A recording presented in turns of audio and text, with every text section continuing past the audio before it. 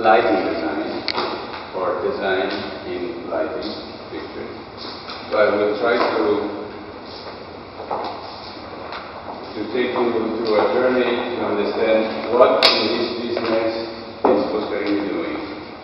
And the way we're doing it, which makes it uh, not only our way, but I may say also a different way of approaching something. And we will see what I'm talking about uh, while going further. So this is just to introduce you to what we're going to, to see now.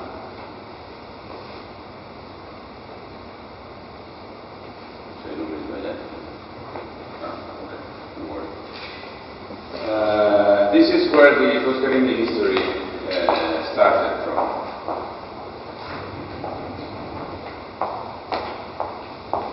Uh, on the Murano Island, which is one of the islands of the Peninsula Dun, where historically all of the glass factory has been segregated back 1,000 years ago, literally 1,000 years ago, because of the fire.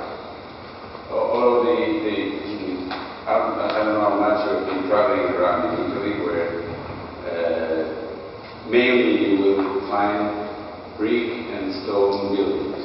So fire is not, it's, it's been quite a problem, but not as much as in Venice where, because of the weight, uh, all of the separating walls are made in in wood. So they, they, they grew more and more uh, dangerous towards the fires. So this is the reason why all the furnace working for the glasses, uh, they have been segregated on this island of Murano, where after 1,000 years of history, they're very well renowned for artistic glass blowing. And this is where we started.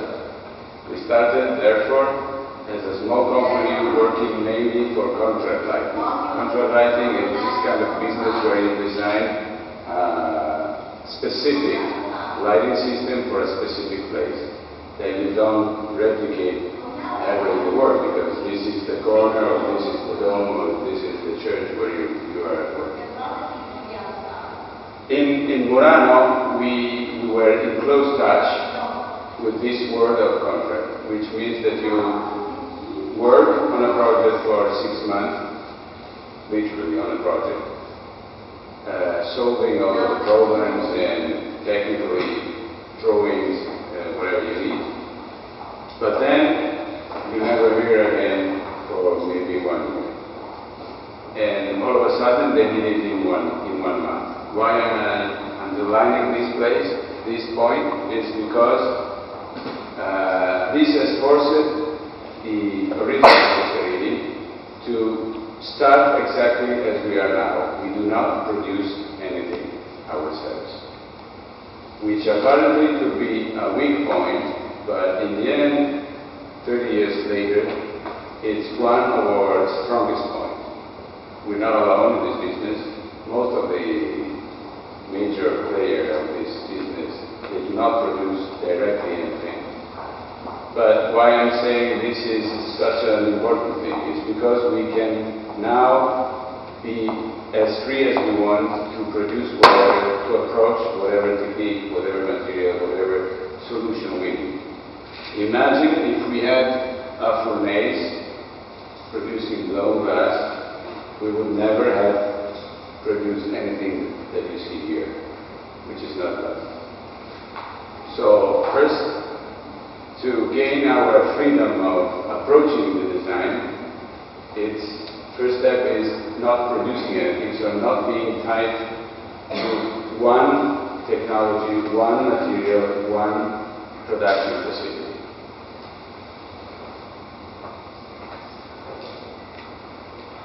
And this is exactly, uh, this is what you see here, a paragraph.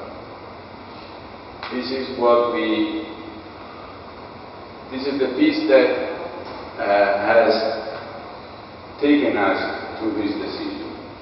Before that piece, which uh, was designed by Ferruccio Laviani, who is now a very well-known designer, at the time was as young as we were, And this is his first production piece in his career. He had submitted us this uh, lamp, and we were wondering whether it was possible to produce it with the same material that we've been using so far. That was blown glass. And of course it was. But the point is that we should not have had the opportunity to get such a geometrical thing with the same thickness and especially with the same color display because of the blown glass. And moreover, very expensive, very heavy, very dangerous if we had to uh, confirm this approach on the base, which is a collapsible base. So imagine if you would have liked to have something like this, so heavy and so expensive, with your cat going through and maybe destroying it. But at this time, decided that what interested us was not the richness and the fascination of the material, the glass material, but was the idea and the concept. To have such different panels and such different geometrical shapes, and different, each one with its own color, and composed in this way, rather than selling just blown glass. And this is the first time when we decided, okay, we should follow the, the spirit, the concept that's behind this project, rather than translate it into a forced material. Just can I, Yes. uh, just to give you a time frame, uh, this product, which is quite well renowned nowadays, is from the 80s, around the 80s. 91, 91? Okay. But Just to give you a which time is 20 years ago. Yes. Yeah. And this has been, by the way, has been uh, selected as lighting design piece for a, a stamp, official stamp from the Italian Post. They dedicated six different stamps to the Italian design. This was the selected piece for lighting at that time. Second step is this. Again, Jozeph Forakis was just graduating from uh, a post-degree course in Milan when we met, and he submitted this piece, which originally was slightly different, but he was thinking of something in blown glass. Again, this thing could have been perfectly producible in, in blown glass, but very very difficult to put the two pieces divided there, the four pieces, sorry, divided there, because of connecting glass is not just as connecting plastic. And what we thought is, this is a very ironic piece. This is something which is, must be very young, very direct, very immediate. You should not, you do not expect in such thing to be with a very rich material as glass and blown glass is. So we, we, we, we went for the second step and he said, okay, we produce it, not even, this is industrial glass, so it's always glass in a way. The second step, okay, we produce it in plastic. And this is how we started to add step by step whatever we, was needed to, to follow the, the spirit the concept that we recognize behind every submission that we have uh, analyzed.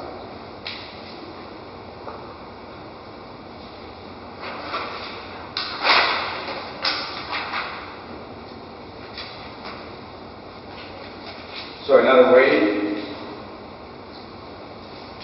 when we make a selection, we always try to stay away as much as possible from what market is needing, what market is underlining, what market is winning. Why? Because we consider ourselves, first of all, innovative and research-driven. So We try to go behind every submission and try to find what the concept is. If we can really get uh, an atmosphere out of the drawings or whatever we are being submitted, if we can really get something that impresses you where you immediately get in front of it. And by doing this, we consider ourselves not followers, but somehow leaders. If you wait to get any information from the market and you only follow what the market will tell you, you're, by the way, immediately a follower. Because you first have to wait for something to happen in the market for you to follow this path.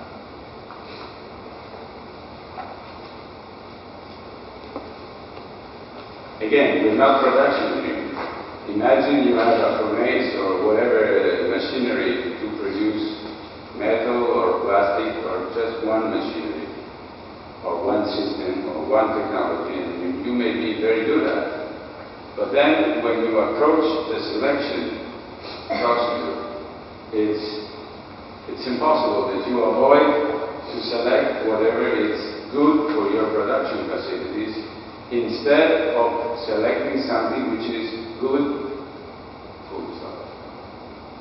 So again, we consider a very good asset for us to be free of any production facility because therefore we're completely free to follow what we see. And if it's good, it doesn't matter if we don't understand what kind of material we need to. And we, we shall see later that we have found ourselves in a position to develop a new material even to realize what we thought was needed and, and good to produce.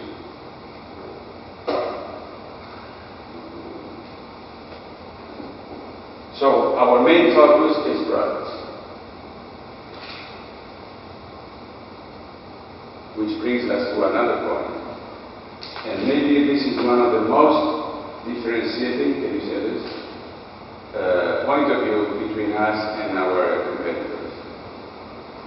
Since we are products people, uh, everything in this company goes around products. Uh, not all of our competitors, they may be very good at, at uh, production, or may be very good at marketing, or may very good at managing the company. But they might be not so good at design. So that's the reason why we, between design or designer, what we choose is design. And it's a consolidated procedure for us that when we select the first selection of whatever is being submitted, which may be involving 120, 150 different concepts every couple of months, we never call them by name. What we see, what we judge, what we try to think and understand what's behind it, it's just the product itself or the concept that uh, is being submitted. Uh, if it's Starck or it's Mr. Novelty, doesn't make any difference for us because we do not know. So be- between design and designer, we prefer to choose design. If it's a good designer, it could be a good point for, for sales later on, but it doesn't mean necessarily that uh, we will bring to bring it to a successful product.